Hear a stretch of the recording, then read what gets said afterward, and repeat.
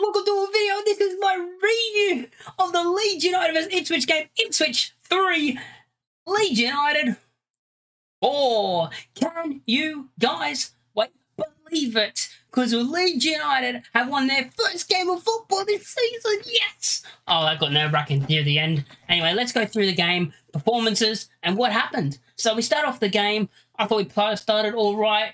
And then all of a sudden, um, Luke Ayling gets beat down the left um, which he did a couple of times this game. He got beat down the left. The ball gets whipped in, and Rodon.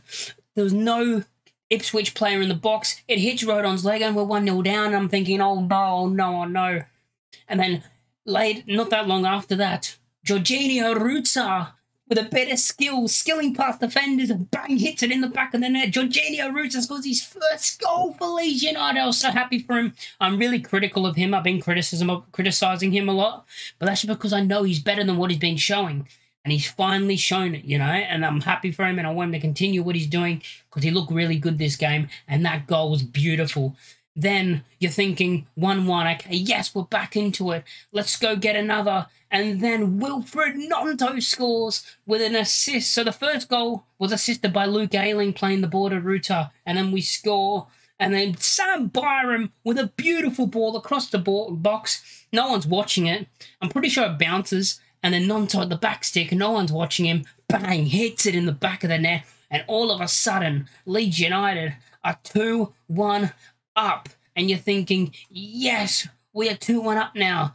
And then not long after, in the 19th minute, Joe, Joel Piroe scores on his debut and we're in dreamland. This is our best performance. We got a bunch of play, you know, we got Piroe in and we're like, oh, and then you look at the when the lineup came out, oh my god, that lineup looks like it's gonna cook.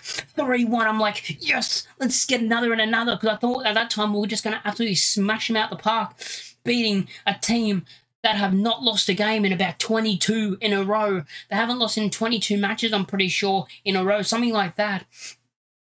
And we haven't won a game for ages either. I think it was August the last time we won. Jeez, I think it was August the last. Oh, wait, no, we are in August. I think it was. I can't remember when the last time we won was. Sorry, no, it is August. That's our first win in legit like three, four, three months since Forest. Isn't that? I think that's our last win since the Forest game. Oh my god finally, our first win since the Forest game, but you're going 3 1 up, and I'm like, yes. Um, then Sam Byram does get injured, and then Cody Drameh comes on and um looks terrible, gets beaten three or four times, and then passes the ball straight into Jackson, who goes around, plays the ball across goal, and Bro- Broadhead scores and makes it 3 2. And I'm thinking, oh no, going into halftime, just conceding like that right on the halftime.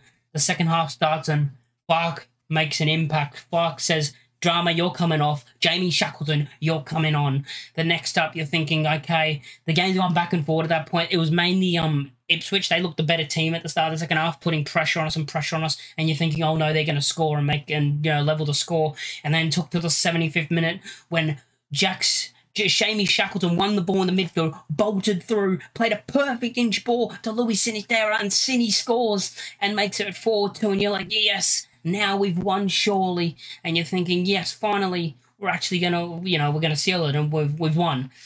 And then, you know, we played well. We held them out. They didn't really, they caused us a lot of trouble throughout the game. And then in the night, I think it was like the 93rd, 94th minute, they end up scoring and you're like, oh no, oh no. And then they played it around the back in the 95th minute, and you're thinking, it's a, it's got to the 96th minute, I'm pretty sure. They're not blowing the whistle. I'm like, oh my god, they're going to score. But luckily, we held on and got our first win of the season. Now let's go through my player performances of what I'll give each player a rating. Um, Meslier started in goal, and I will give him a. I'm going to give him a seven because he didn't do really much wrong, but he did concede three goals. Three goals did go on the back of his neck, but net. But I don't think he did much wrong. I'll give him a six.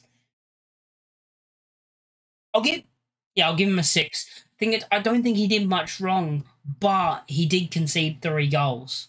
You know, not that I think he could have done better from any of them. Like he shouldn't have saved either of any of them. Sorry, but still, you know, Luke Ayling got beat a lot in this game. I'm gonna have to give him a four.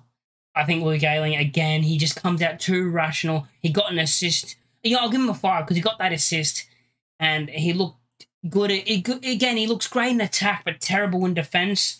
Uh, Rodon, I didn't really see him do much. I think I'll give him a seven because I think he played well. He did get that own goal, but am I really going to blame him? Not really. He could have just left the ball because there was only Leeds players behind him, but he probably didn't know that. But the rest of the game, I think he was sound. He was good. I'm going to give, yeah, I'll give him a seven, like seven out of 10, because um, I think he played well. Pascal Struijk. Now, I think he was our best player on the pitch. I'm going to say Struijk is my man of the match, and I'm going to give him an eight. Um, Sam Byram did good, got an assist. I think he did very well until he got injured. I'm going to give him a seven. Um, think he did well. Willy Gnonto got a goal. I think he played well today, and you know, apologise to the fans. He shushed when he scored. I'm like, what are you doing? And then he apparently clapped the Leeds fans. Like that was to the Ipswich fans. Um, so yeah, I'll give him a seven. He scored a goal. Well done, Willy Gnonto. Um, yeah. Uh, Ampadu and Gray. I think I'll give Gray and Ampadu both a six each because both of them do the exact same thing for me every single game. They're both quality every single game at the moment. None of them made really any mistakes. I'll both I'll give them both a six. I think they both performed really well together, and I think they were both really good. Nothing to complain about. Sinisterra got a goal, looked good. I'll give him a seven as well. He looked really good, got the goal, and yeah, seven. Uh, Joe Piroe got a goal on his debut, a pretty decent debut, you know what I'm saying? I don't think he had a great debut. People may say he had a great debut because it's his first game, and people are going to overrate it because it's his first game. But I think he played well. I don't think he played bad at all. I think he played well. I think he had a good performance. I'll give him a six.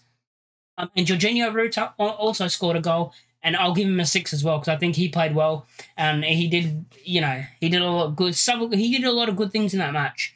Going on the ratings, who I thought when they played did come on, Cody Drameh was like a two. He was so poor, terrible. Jamie Shackleton, I'll give a six. I thought he played well when he came on. He got an assist and he did well. Um, Joe Gelhardt and the rest of them I can't really rate because I came in so late. And yeah, I think we overall performed really well. I'm happy with that performance and let's just take it into the next match and hoping we can win. We got a cup match midweek, I'm pretty sure this week. Um, so yeah, I probably won't be doing a preview for that because I don't think I can watch the game. But maybe, yeah, I'll do a preview, but the review I might not be able to do. But if you guys like the video, make sure to like, comment, and subscribe if you are new, and I'll catch you boys in the next one. Peace.